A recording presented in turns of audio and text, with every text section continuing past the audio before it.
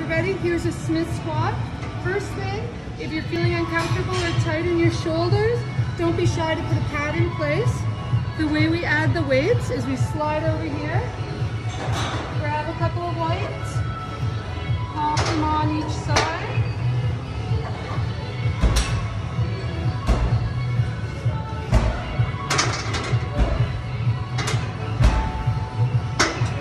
And the difference between a barbell and a Smith squat or fixed bar squat is I have to lean into this. So first thing is it's a little high for me. So I have to lift it up, bring it down.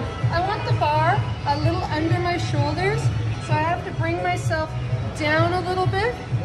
Wrists are straight, I'm nice and in the middle.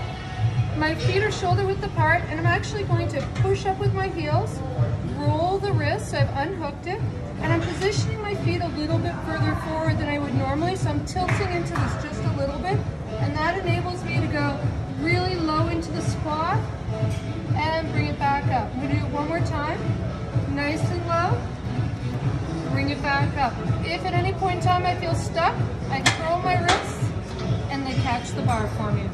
Thank you.